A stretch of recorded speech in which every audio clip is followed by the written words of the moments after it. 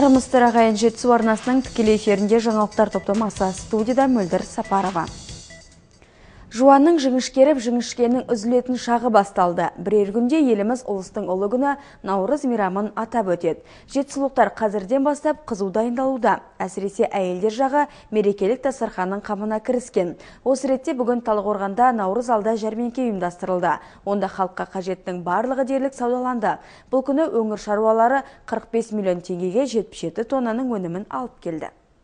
Бұл биылғы жылдың облыс көлемінде өтіп отырған алғашқы жәрмеңкесі әрі оның ұлыстың ұлы күні қарсаңында ұйымдастырылуы көптің көңілінен шықты.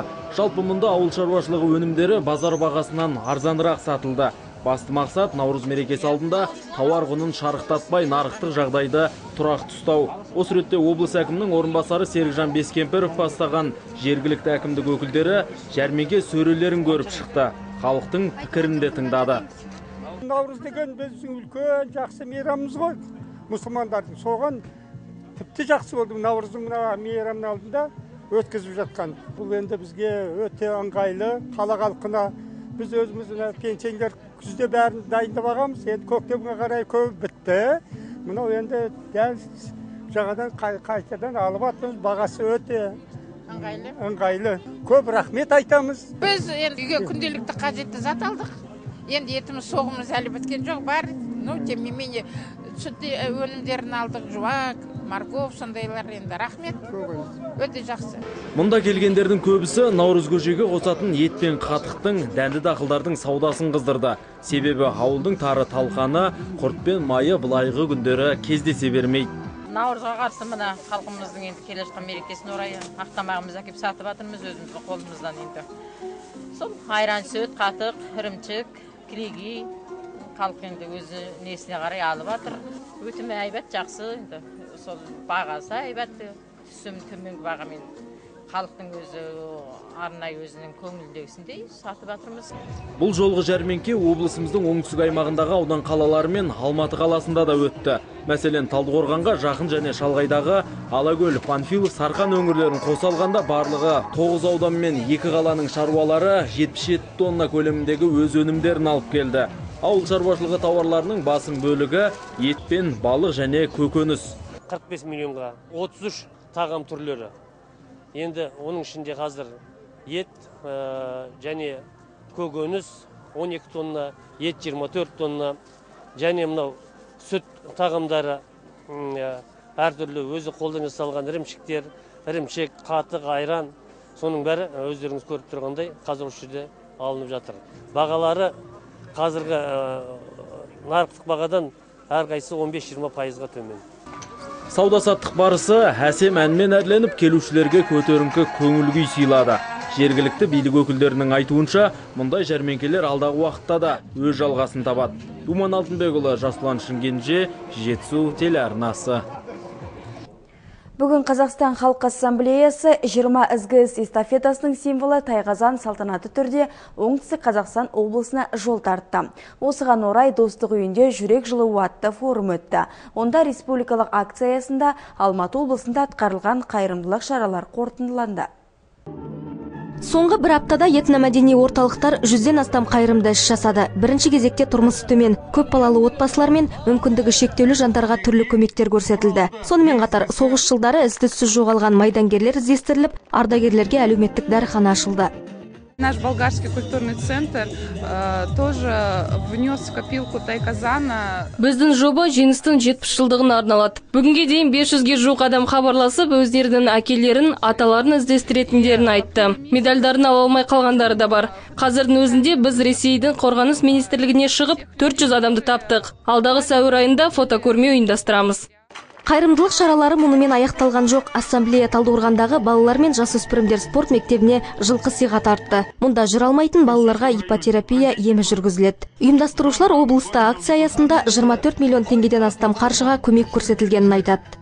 Тайқазан акциясының алматы облысында өтуі бұл жалпы халықтық іске айналды десек артық емес. Көптеген азаматтарымыз өзінің жасап жатқан жақсылықтарын жариялап айтқысы келмейді. Соның өзінде бүгін біз мінекей бір аптаның ішінде жүзден астам осы қайырымды іс шаралардың куәсі болып тұрмыз.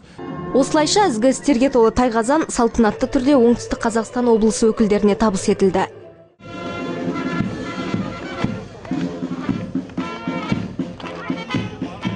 Соңынан бұқаралық ақпарат құралдары өкілдеріне баспасөз маслихаты ұйымдастырылып жалпы ұлттық акция туралы кең көлемде мағлұмат берілді. Бүкіл қазақстанды аралап шыққан соң игі бастама елордада қорытындыланады. Бүкіл қазақстанды аралап шыққан соң игі бастама елордада қорытындыланбақ. Меруерт мұратқызы қайрат қазтұрғанов жетісу телеарнасы.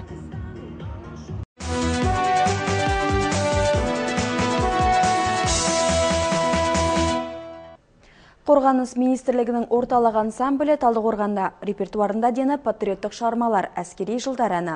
Тіпті фронт қаттанған әке мен бала жайы артта қалған ана мен жақындарының қасіретін көрсететін театрландырылған қойылымда бар.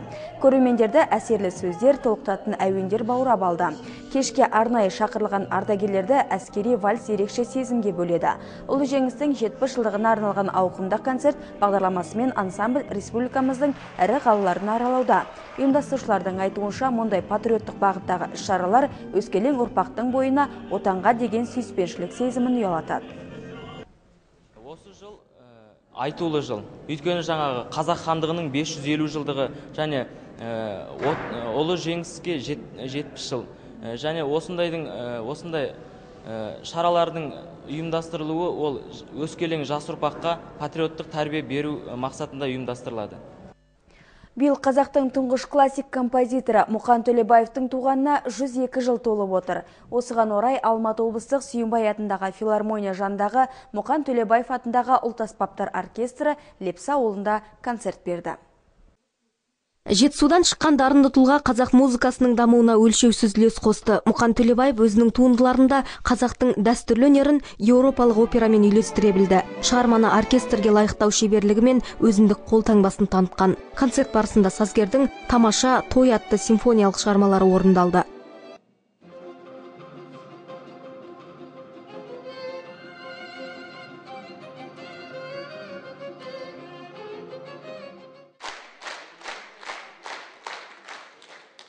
Халық мұқанменен қауышып жатыр музыкасын ән тыңдап бәрі қазір сондай көңілде отыр.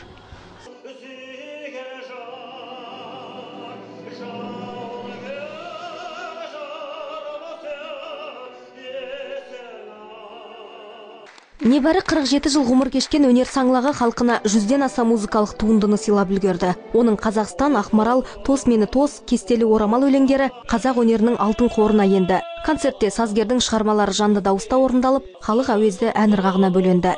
Бұл концертте төлебаевтың өз шығармалары басым көп орындалып отыр. Биік әлем сахналарында орындалған ұлы тұлғасы біржан сара операсының үзіндісі де бар. Ертеңгісінен бастап біз сазгердің ескерткішіне гүл шоғын қойып бұл жерде орын тепкен мұражайына барып құран бағышталып жаңағы ел тағзым етіп жатқан күн болып отыр.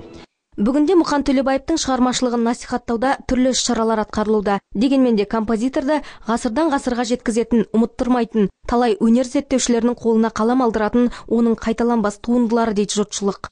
Меруерт мұратқызы сихат қасейін жетісу телеарнасы. Қарасазда мұқағали оқулары өтті. Ақының туған ауылда ұйымдастырылған республикалық шараға еліміздің 11 облыс, екі қаласынан келген 30 үміткер қатысты. Райымбек ауданда өнерлі өрендердің арасында мұқағали оқуларын жылда өткізу дәстүрге айналған. Тілшіміз толықтырады. Жалғасы бар жырымның жалғасы бар жырларым жылдарымен жалғасындар деп тебіреніп өткен ақиық ақын сол кезде ақ өлеңдерінің өлмей мәңгілік жырға айналатынын сезсе керек. Оқырманның жүрегінің түбіне терең бойлайтын тыңдарманның құлақ құрышын қандырған ақын шығармаларына деген сұраныс арта түспесе кеміген емес. Бұған дәлел ақынға арналған республикалық байқауға қатысушылардың көбеюі. Айта кету керек осы бүгінгі осы қатысып отырған балалардың мына дайындығы дәрежелері өте жоғары. Қазақ тілі әдебиетін тереңдетіп оқытатын мектептерден келіп отыр. Әскери дайындығы бар мектептерден келіп отыр. Физика математикаға мысалы тереңдетіп оқытатын мектептерден келіп отыр.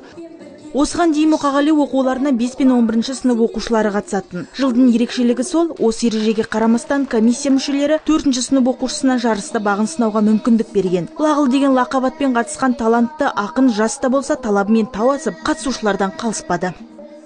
Республикалық мүшәйрасына осы райымбек ауданындағы яғни мұқағали атамыздың жерлесі осы сарбастаудан келіп тұрмын және де біз осы мұқағали атамыздың нағашысы болып келеміз. Өйткені мұқағали атамыздың нағиман деген анасы осы біздің ауылдың сарбастаудікі. Енді осы жарысқа келгендіктен мұқағалидың өлеңдерін тебіренбей оқу мүмкін емес қой. Жарысқа қатысып орын алғаннан гөрі тіпті бұл жерге қатысқанның өзі үлкен бір бақыт байлық. Осы мен осы жарыстағы ең кіші үміткермін.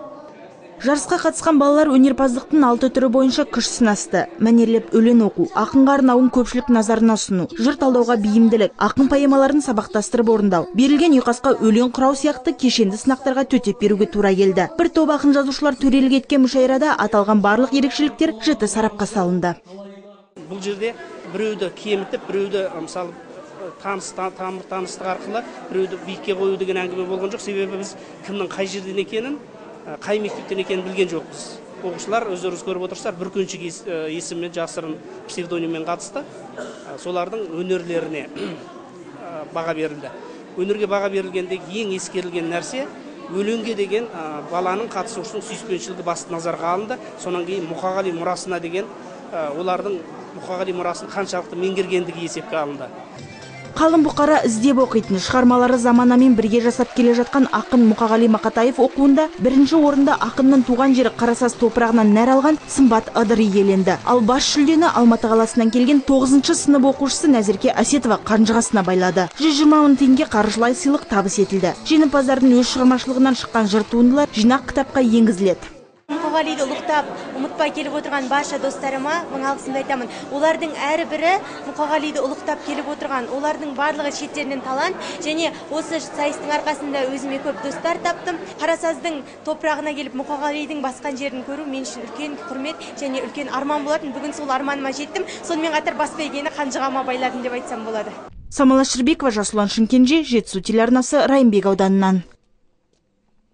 Композитор, дирижер, Моңғол халық республикасының өнеріне еңбек сіңірген қайраткері. Алтын жұлдыз орденің егері Ахметбек Әлпекұлының туғанына 80 жыл толды. Осыған орай өнер қайраткерінің тұрған үйіне естелік тақта орнатылды. Ашылу салтанатта Алматы облысы әкімінің кеңесшісі Ахметбек Кендербекұлы облыстық мәдениет басқармасының мамандары қатысты. Ахметбек Әлпекұлы 50 жылдан астам уақытын өнерге арнады. Бала күннен қазақтың домбырасын, орыстың мандолинін ойнап, ән салып халқының батасын алып өнерде өз орнын алды. Қандасымыз Моңғол жерінен ел тәуелсіздігін алған кезде 1991 жылы алғашқылардың бірі болып көшіп келген. Өнер қайраткері тек музыканы меңгеріп қана қоймай, ұстаздық саласында да еңбек етті. Ильяс Жансүгіров атындағы Жетісу мемлекеттік университетінің оркестрін ашып, көркемдік жетекші, аға мұғалім атанды. Композитор 73 жасында дүниеден озды. Тек бір орындалмаған арманы қалды. Асыл жары Мария Мами қызының айтуынша, көзі тірісінде Ахметбек Әлпекұлы Ғабит Мүсіревовтің Ақан сері Ақтоқты драмасын музыка жазған. Осы музыкалық драманы Астана қаласындағы драма театры мен опера балет театры репертуарына енгізсе деген ұсыныс тілектері бар. Бұл тақтаның маңыздылығы мәңгілікке қалады ғой бұл енді. Өйткені бұл кісі мәңгілік қалуға тұрарлық адам деп есептейміз де. Енді жеті жасынан бастап жұмыс істеген кісі одан енді москва училищесін ленинград академиясын қазақстанда құрманғазы атындағы консерваториясын бітірді ғой бұл кісі. Елу сегізінші жылы бұл кісі мұқан төлебаев ағадан москвада бата алған кісі. Осы ең үлкен сыйлығым осы батам деп жүретін бұл кісі тірі кезінде. Ахметбек әліпбекұлының енді сондайлықты терең ойлы сабырлы қазақ жерін деген сағынышы музыкалық шығармалары арқылы өзі жұмысты көп істеді. Кск связь арқылы біз қолдарды қойғызып соның шешімінде біз қабылдауға үлесімізді қостық. Енді ілияс жансүгіровтың сөзі бар ғой өз ерлерін ескермесе кім ескереді ерлерін?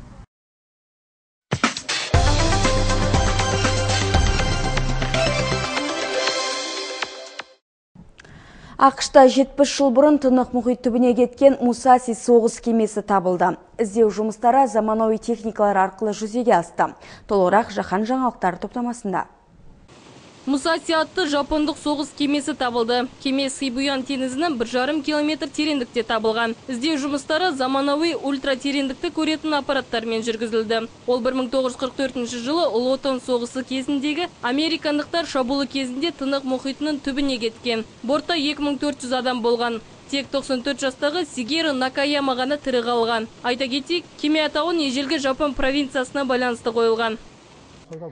Бұл сол кеменің бөлшектері екеніне сенімдімін. Өйткені мусасидің зәкірі айқын көрініп тұр. Дәл сондай бақытгүл тәріздес император мөріде көрінеді.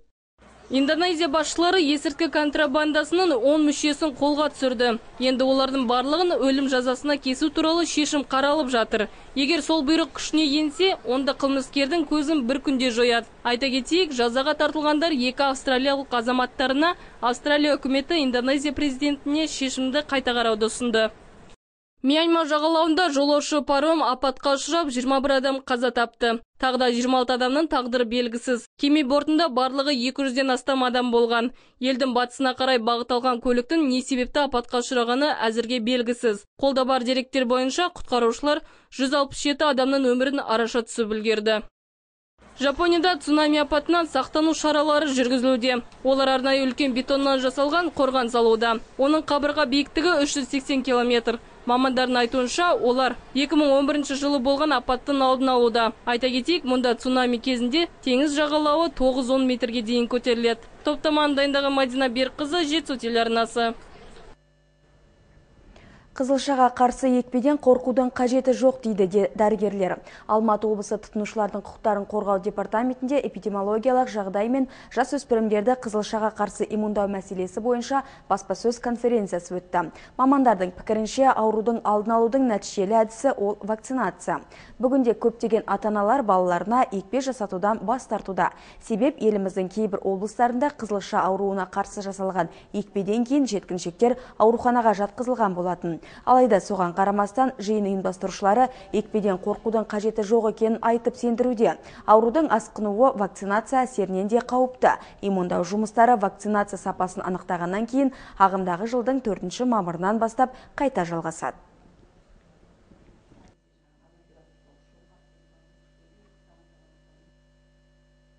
Соңғы кезде жаңағы бұқаралық ақпарат құралдары арқылы бізде қазақстанда бес регионда жаңағы балалардың екпеден кейінгі бір жағымсыз әсерлері болған бойынша көп айтылып жаңағы ата аналар көп сөйлеп жаңағы сондай айтылғаннан бері ата аналардың арасында екпеден бас тарту көбейіп кетті. Жалпы бұрында жаңағы діни көзқарастарына байланысты екпеден бас тартқан адамдар кездесіп тұрады. Бізде мысалы биылғы жылы 274 адам биылғы жылы 14 жылы 13 жылы 198 болса 14 жылы 274 адам екпеден бас тартқан мүлде үзілді кесілді бас тартады. Әрине ол жаңағы конституция бойынша әр, әр адамның өзінің құқығы бар бас тартуына болады. Қазақстанда былтырғы жылы 321 жағдай тіркелсе қызылшаның ауырған сырқаттанған биылғы жылы 705 жағдай тіркелді. Оның ішінде бізде алматы облысында 95 жағдай тіркелді. Екпенің барлығы бойынша тексеру жұмыстары жүргізіліп жатыр. Ә, мемлекеттік біздің бас санитарлы дәрігер комитеттегі ол кісі жаңағы қаулы шығарып осы вакцинаны қазіргі кезде тоқтатып қойды төртінші мамырға дейін. Төртінші мамырға дейін ол вакцина тексеріліп болады. Жаңағы зертханада арнайы ғылыми орталықта алматыда тексеріліп жатыр. Егер де шынымен де ол вакцина дұрыс болмаса онда ол вакцина әрине кері қайтарылады. Ал енді ол вакцина дұрыс болып шықса онда ары қарай екпе жүргізіледі төртінші мамырда белгілі болады Есік қаласында көру қабілеті төмен жандарды оқытудың жаңа әдіс тәсілдері семинары өтті.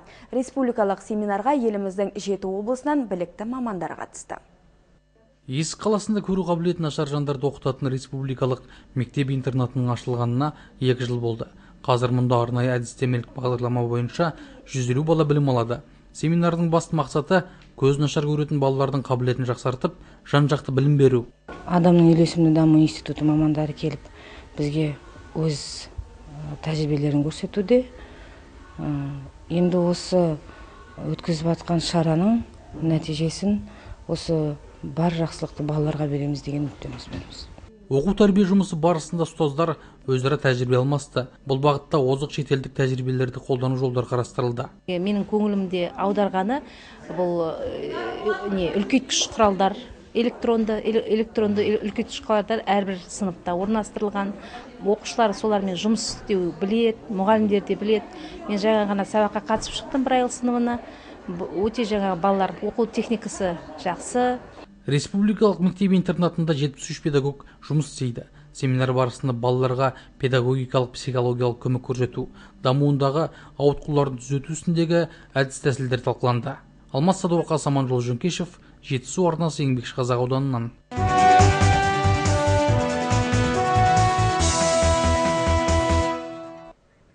Бүгін Қарабұлақ ауылында ішкі істер саласының ардагері Нұрқұмар Майымгеновты еске алу турнирі өтті.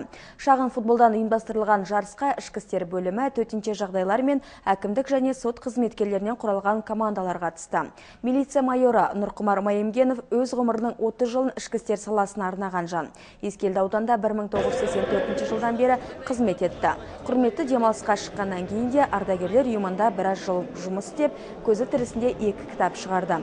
Нұрқұмар Майымгенов өткен жылы қайтыс болды. Енді міне оның есімін халық жадында қалдыру мақсатында Алматы облыстық ішкі істер департаментінің ұйытқы болуымен осындай турнир өтуде. Жалпы ардагерлерге құрмет көрсету мақсатында мұндай спорттық жарыстар өңіріміздің барлық аудан қалаларында ұйымдастырылмақ. Басты мақсаты салауатты өмір салтын қалыптастыру, халықтың назарын бұқаралық спорт түрлеріне бұру. Турнир негізі Алматы облысының ішкі істер департаментінің бастығы полковник үрімхан мұратжалилұлының нұсқауы бойынша жүргізіліп жатыр бүгінгі ойын бойынша бірінші орын алған команда милиция генерал майоры болсанбеков абдықыдыр болсанбекұлын еске алу турнирге қатысады Талдықорғанда тұңғыш рет белбеу күресінен облыстық чемпионат өтті. Оған өңіріміздің аудан қалаларынан жүзден астам жасөспірімдер мен қыздар қатысты. Толығырақ Думан Алтынбекұлы айтып берсін белбеу күресі немесе халық арасында азия күресі аталып кеткен бұл спорт түрінің талдықорған қаласында дами бастағанына көп бола қойған жоқ. Биыл үшінші жыл. Номер бірінші балалар мен жасөспірімдер спорт мектебінің құрамынан арнайы бөлім де ашылған. Ондағы белбеу күресімен шұғылданушылардың көрсеткіші жаман емес. Өткен жылы бес өреніміз спорт шебері атағына ие болды. Мәселен жәнібек дүйсенбаев елдос кентаев және сағыныш оңалбаевалардың есімін мақтанышпен айтуға болады. Мына белбеу күресі бізде негізі күрестердің атасы дейді бұны. Орта азия мына кавказ елдерінің мемлекеттері міне көбісі осы бел күресімен күреседі белбеу күресі дейді. Осы күресте қазір басқа мемлекеттерде орталық азия өте жақсы дамыған. Біздің мына қазақстан қазақстанда бұл, бұл күресіміз бір 5-6 жыл болды дамып келе жатыр. Ал мына алматы облысына міне бір үш жылдай болды ашып дамытып келе жатырмыз бұл күресті де. Қазақ күресімен және дзюдомен шұғылданушылардың айтуынша белбеу күресінің ерекшелігі белбеуден мықтап ұстап қолды жібермей белдесу. Негізінен бұл спорт түрі жылдамдықты айла тәсілді қажет етеді. Қазақ күресінен кейін белбеу күресіне көштім. Белбеу күресінен чемпион қазақстаны болдым. Мастер спорта енді екеуі ұқсас ұқсас болғаннан осы қазақ күресінен қазақ күресінің дзюдошылар самбистар осы белбеу күреске көшеді деп ойлаймын. Ары қарай чемпион азия чемпион мира болады деп үміттенемін. Жасөспірімдермен бірге белбеу күресінен қыздар да бес салмақ дәрежесі бойынша сынға түсуде. Мықтылар балдық жүйемен анықталатын болады. Боз кілем үстіндегі белдесуде шектеу бар. Күрес екі минут көлемінде ғана өтеді. Жалпы бұл облыстық біріншілікте үздік шыққандар осы наурыз айында шымкентте өтетін республикалық жарысқа жолдама алады. Думан алтынбекұлы лилия штогрина асхат мұсабеков жетісу телеарнасы. Ардақты ағайын бүгінге келіп түскен ақпараттар легі осындай болды. Назарларыңызға рахмет, аман сау болыңыздар.